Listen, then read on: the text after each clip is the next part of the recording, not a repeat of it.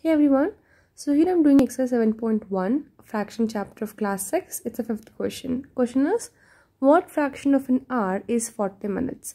So they're asking how much fraction of an hour is equal to 40 minutes.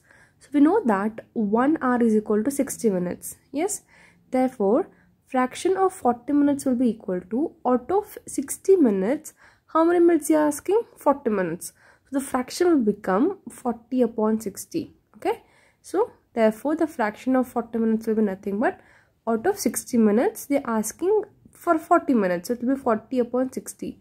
But this is not in reduced form. Cancel this in 10 table or you can just cancel any table. So we're gonna get I'm gonna cancel this in 20 table. So 22s are 40, 23s are 60.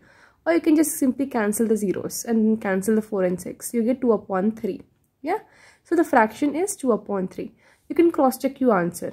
How you can cross check your answer? They're asking what fraction of an hour is 40 minutes. Here we got a fraction as 2 upon 3. That is a required fraction. So let me write down here. Required fraction is 2 upon 3. So 2 third or 2 upon 3 of 1 hour is equal to 40 minutes. That is what they're asking here. I'm going to just cross check the answer. I'm going to show you.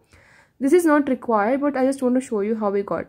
So 2 upon 3 or 2 third of 1 hour. 1 hour is nothing but 60 minutes. So 2 upon 3 of 60 minutes that is nothing but 2 upon 3 of means multiplication of 60. Cancel 3 and 60, 3 ones and 3 20s are which is equal to 2 into 20 is 40 minutes.